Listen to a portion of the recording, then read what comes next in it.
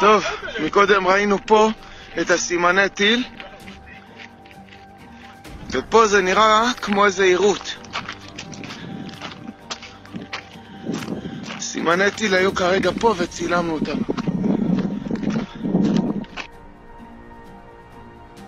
זה מה שיש בשמיים, אין לי מושג מה זה. לפני כמה דקות היה פיצוץ רציני. זה אזור הקריות.